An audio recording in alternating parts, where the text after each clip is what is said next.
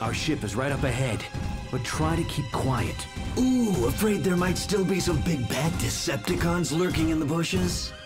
Not Decepticons. Dinobots.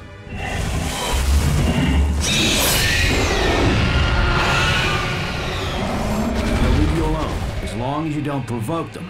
I don't need some elite guard washout telling me how to handle primitive technology.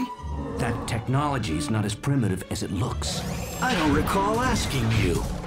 Go on, shoot!